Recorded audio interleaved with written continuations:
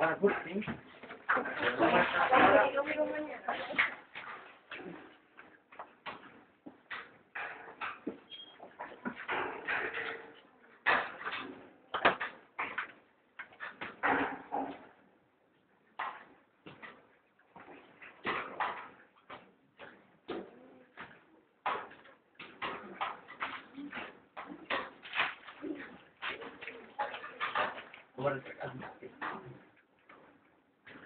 cuando la ves baja la despacito,